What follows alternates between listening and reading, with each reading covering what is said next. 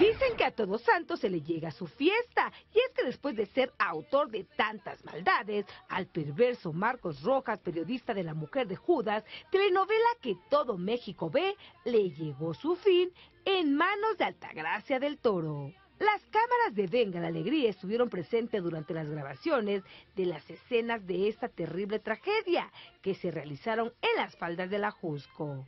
Eran tal los nervios de la actriz Annette Michel que no podía evitar carcajearse mientras realizaban una escena de cachetada y jugueteaban entre ellos para intentar relajarse y dar paso a lo que fue la última participación del actor Javier Gómez en La Mujer de Judas.